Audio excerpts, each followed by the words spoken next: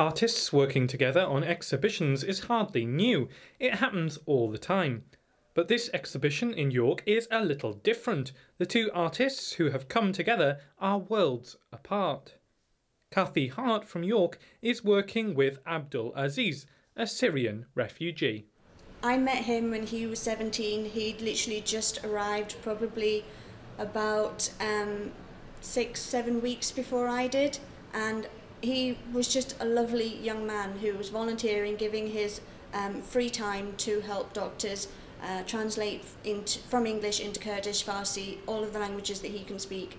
Um, and I met him because he was an artist, is an artist, and he needed a creative outlet. He was feeling a little bit stifled and restricted. Of course, he's living in a tent. He's got no access to computers, cameras, or anything. Um, and I'm there doing photography to help share the story. And I hear of his story, and I'm like, well, you can come and meet me. You can use my computer. You can play and create a Photoshop piece of your own.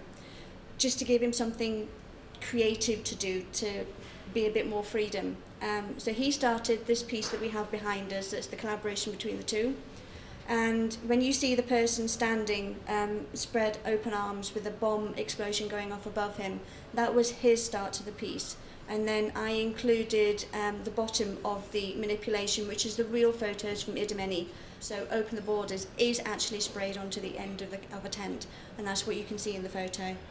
Um, so it is part reality, part manipulation, but it's a political piece talking about the freedoms and the the devastation of being a refugee. Kathy met Abdul Aziz when working for a charity she set up with her friends called Refugee Start. Well, a number of years ago, um, my partner and I were always holidaying on Lesbos, and at the time there was a massive exodus coming from Turkey over to Greece. Um, the border between Turkey and northern Greece is incredibly small to the northern shores of Lesbos. Uh, it's a distance that's why they cover uh, and come by rubber boats. The thing that's shocking about it is that when we arrived at Lesbos by aeroplane and you look at the coast, the entire coast was orange with life jackets. And it's at that point you start to realize just how many people are trying to cross those dangerous waters. Um, and it's all throughout the year, it's not just summertime, they come in the middle of winter as well. So when we saw that and when we were travelling by bus through the middle of Lesbos, we were going down a highway that's 80, 100, mile, 100 kilometres an hour, which is like 70 miles an hour here, of really fast traffic. And these are people who don't have any shelter. They're in t-shirts, raggedy shorts, broken shoes, having to walk a distance, say, from York to Birmingham with no food, no water, no provisions, they're sleeping on the side of the road. How can you walk away from that?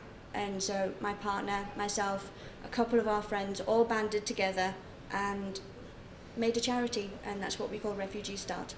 Working in the camp is sometimes quite dangerous for refugees and workers.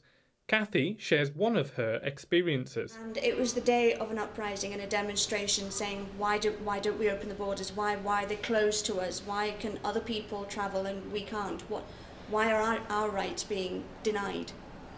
Um, what's not known behind this photo is that my partner took this and uh, we were travelling and volunteering with our daughter. So I stayed behind with our daughter to make sure she was safe um, and I was safe, and my partner was brave enough to go to the front. The time that she went, it was a very, very peaceful demonstration. Everybody was sat and quiet. Um, a few minutes later, I have this guy, um, and the thing that you need to know about refugees is that they call you my friend. And so my friend came running up, saw that my, myself and my daughter were sat by the train, sheltering from the boiling heat, and he said, Up, leave. That's all the English he could speak in that short space of time.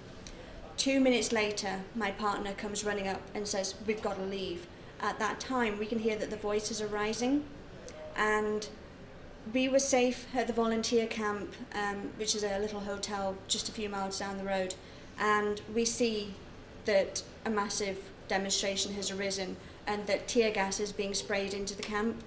Um, so because my friend, my anonymous refugee friend, ensured my safety, I would like to help them gain their safety and their freedom. So this is why we have this exhibition for Refugee Week.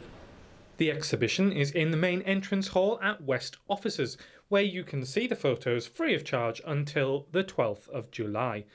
Matthew Brannen, That's TV.